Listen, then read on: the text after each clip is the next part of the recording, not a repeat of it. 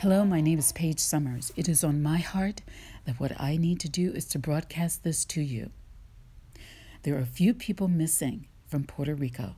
So, first of all, this is Elizabeth Blevins. Elizabeth Blevins has not heard from her father or her mother or anyone in her family in Puerto Rico.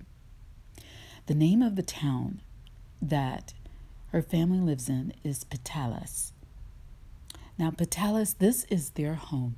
So, this is the actual photograph of her parents' home. So, if anyone has driven by or has seen this while you're in Puerto Rico, please, please, please do not hesitate to respond to this video.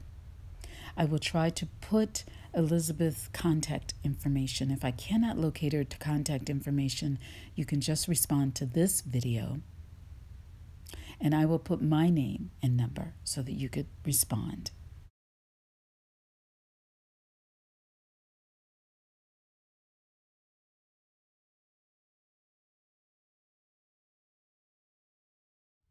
The next person we have is JJ. JJ is was met by the photographer who took most of this footage in filming, and he has not heard from this person at all. So this is his picture. So if you see JJ, this is actually a close up, a closer shot. Please do not hesitate to respond to this video. I will put again my name and my number and any other information that I could come up with.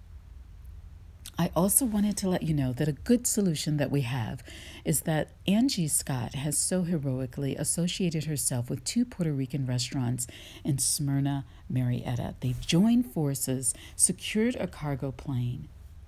And by the way, thank you so much, Rob Allen.